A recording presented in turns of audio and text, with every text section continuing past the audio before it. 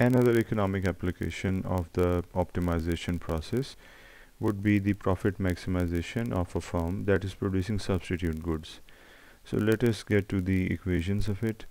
There is a producer who is producing two substitutes that is P1 and P2 are the inverse demand functions of it that are dependent upon Q1 and Q2 at the same time. So they are uh, substitutes or related goods cost function of producing these two substitutes is also given. And above mentioned are the inverse demand functions as I already told you that these are the so these are the inverse demand functions.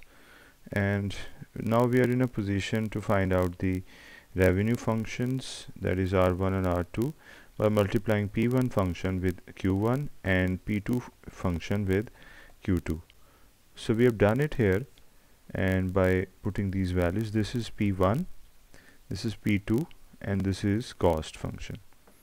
This q1 and q2 are being multiplied in order to make these p1 and p2 into r1 and r2 so you can simplify this expression. You can pause the video and do this simplification and see if this is the profit function that we get after simplification. First order conditions they are to be found.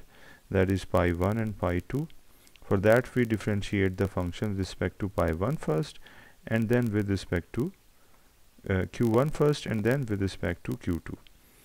So we get two equations that are in terms of q1 and q2. So this means that we are going to solve them simultaneously and then we will be able to get the values of q1 and q2 which will be the critical values. And here you can see that these are the critical values.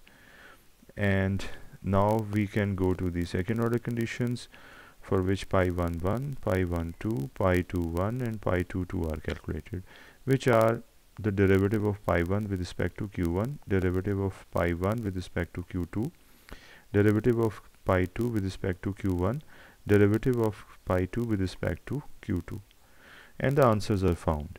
Now we can try to interpret these results. Pi 1 and pi 2 both are negative as you can see. This is pi 1 1 and this is pi 2 2 both are negative. And then we have to do the second part of the condition that is the inequality. So we have substituted the values here and then the answer is satisfied because the right hand side is greater than the left hand side. So the profit is maximized here. So we also try to find out the maximized value of the profit. That can be done simply by taking the original profit function and putting q1 and q2 in it and we have done it. This is q1 this is q2 so the values are put and the answer is 1056.02 units which is the maximized level of the profit. So finally we can summarize this by saying that if the firm produces 8.06 units of q1 and 6.65 units of Q2 which are actually substitutes firm can maximize its profit to this.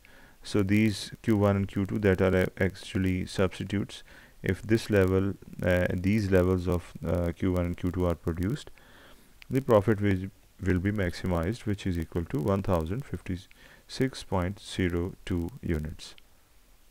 So this was an economic application of the optimization on a firm that was producing substitute goods.